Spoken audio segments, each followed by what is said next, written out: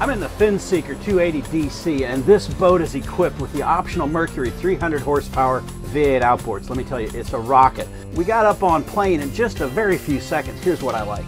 When you put this boat in a turn, it sticks in the turn and it carves around smoothly. It feels really good in chop and I like the solid ride it gives me. I want to walk you through the rest of this boat, but let's start right here with the helm station.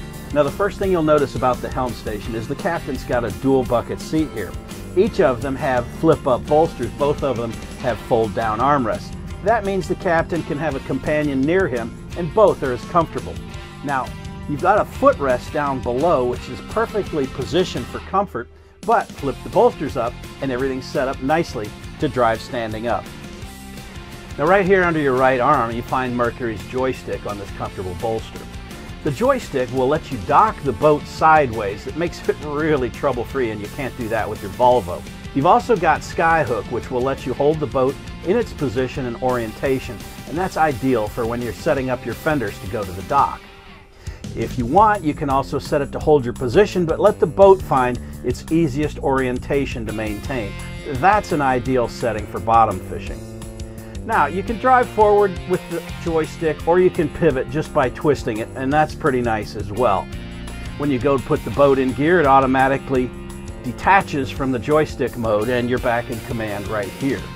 Now this has Mercury's new controls and one of the best features on it is the fact that when it's in neutral, the neutral indicator light is right here, not hidden down below, so you know at a glance if you're in neutral.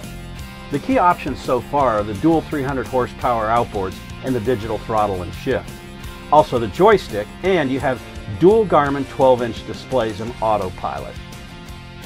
I like the billet trim around all the switches.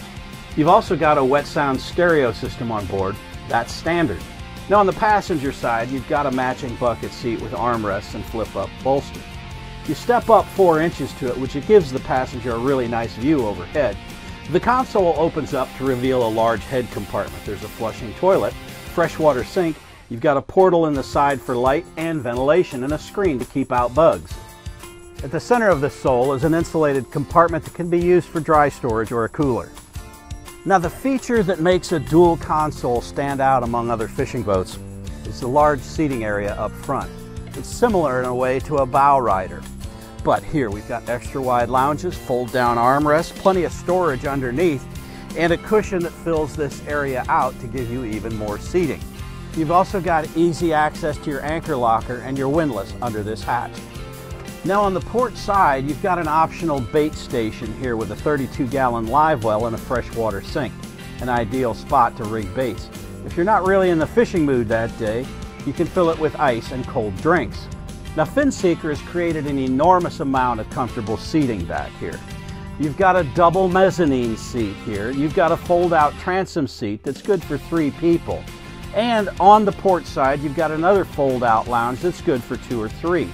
The nice thing is you can snap them away quickly and you have a full fighting cockpit for the fishing action. Now in the hardtop, you've got four rocket launchers. In each gunnel, you'll find two more rod holders. And to stow six rods, lift the hatch in the center of the sole, and there's a rod rack down there for your sticks. Now, another nice characteristic of the dual console is to be able to close the main cockpit off from it with this wind dam. Now behind the wind dam door, you'll find a storage drawer and a wastebasket. Now there are two large fish boxes on either side of the boat and those are macerated to pump overboard. For tackle storage, you've got three compartments, one under the driver's seat, one under the passenger seat, and one as well underneath the rigging station. Also, there's a 26 gallon live well on the transom. To add safety and convenience, this boat has a VSR system on board. There's three battery switches here below the walkway to the transom. You've also got an onboard battery charger system. There's also spacious access to your pumps and systems below the transom seat, and that's accessible at the touch of a button.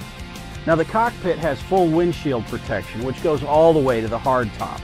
You can open the central hatch and raise the window overhead and you have wide open access to the bow. Or you can close it all up and be completely weatherproof. For added sun protection to the cockpit, tap a button and open up the sunshade and you have protection all the way to the transom. Now the 280 DC we're on has the optional interior package which brings a lot of style and it has an exterior color package too.